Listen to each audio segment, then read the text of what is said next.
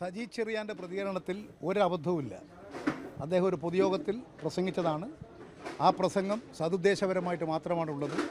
എന്ന് മാത്രമല്ല അതിൽ ആർക്കെങ്കിലും എന്റെ പ്രസംഗത്തിൽ ഏതെങ്കിലും തരത്തിൽ ഭരണഘടനയോട് എനിക്ക് അപമതിപ്പുണ്ടെന്ന് തോന്നത്തക്ക നിലയിൽ തോന്നിയിട്ടുണ്ടെങ്കിൽ അതിന് ഞാൻ ക്ഷമ ചോദിക്കുന്നു എന്ന് അദ്ദേഹം പറഞ്ഞു കഴിഞ്ഞു.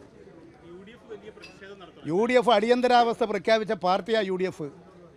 ഭരണഘടന ലംഘിച്ച് ഏകാധിപത്യ ഭരണം അടിച്ചേൽപ്പിച്ച പാർട്ടിയാണ് അവരെന്ത് പറയാന്? അവരെന്ത് ഭരണഘടനയെ കാത്തു സൂക്ഷിക്കുന്നവർ ഞാനിവിടെ പ്രസംഗിച്ചു. അതുകൂടി നിങ്ങൾ കൊടുക്കുക അവരോട്. അവർക്ക് വേറെ പണിയൊന്നും ഇല്ലാത്തതുകൊണ്ട് ഇതേ ഉള്ളൂ. അതുകൊണ്ട് അത് നടക്കട്ടെ. ഭരണഘടനാ പദവിയിലിരിക്കുന്ന സഖാവ് സജി ചെറിയാൻ ഒരു തെറ്റായിട്ടുള്ള പരാമർശവും നടത്തിയിട്ടില്ല. അദ്ദേഹം ഭരണഘടനയോടും ജനാധിപത്യത്തോടും അങ്ങേറ്റത്തെ കൂറു പുലർത്തി പ്രവർത്തിക്കുന്ന നല്ലൊരു മന്ത്രിയാണ്. അദ്ദേഹത്തിന്റെ ഭരണപരമായ കഴിവുകളെ ദുർബലപ്പെടുത്താനുള്ള നടപടികൾ പോലും ഇതിന്റെ പിന്നിൽ ഉണ്ടായേക്കാം.